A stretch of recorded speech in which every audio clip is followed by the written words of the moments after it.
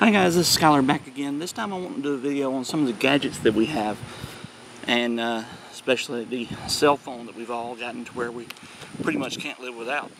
Well, I haven't really mentioned it, but in some of my more recent videos such as the LBE, even the Alice pack that I've done, if you go back and look you will notice that pretty much nothing requires electricity. The only thing that is in my pack that requires any sort of power is my flashlight. Well, I figured I can't really get away from that. From that, nothing I can do about it.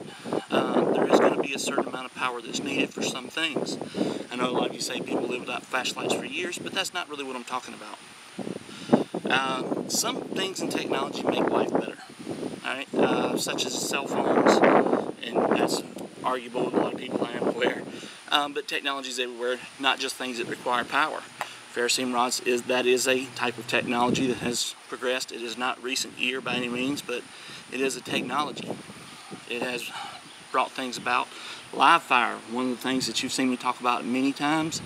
It is an amazing product and it, it really is, it makes things a lot easier for you out in the woods.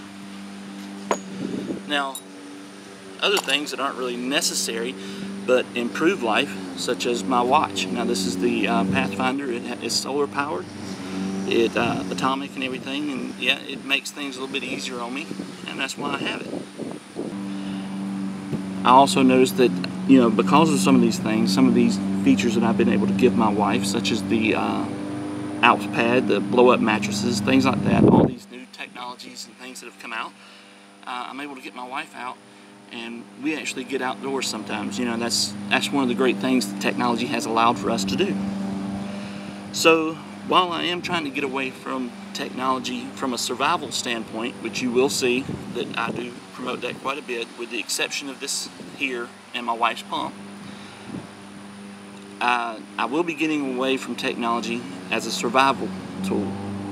It will be more of a tool for life, you know, and you know, living a you know, a easier existence and things like that. So it will not be in there. Um, some of the things I've laughed at is the people, they call themselves the high-tech prepper and all these, I don't even know the names of some of the YouTube channels out there and, I, and honestly I don't know if they're any good so I can't really bash them. But I never really thought a high-tech prepper was a way to go. But uh, anyway, that being said, I will try to show some things on the technology side, but also keep in mind that this is more for everyday living keeping you out hiking, keeping you out in the woods, keeping you camping, keeping you having fun. Not surviving, but living. Anyway, uh, that's pretty much it, guys. I will stop it here. And I just wanted to give my little rant up on my soapbox, whatever you want to call it. But uh, just wanted to show this is the direction that I will be going. And I'll be showing the difference, differences between technology for life and technology for survival.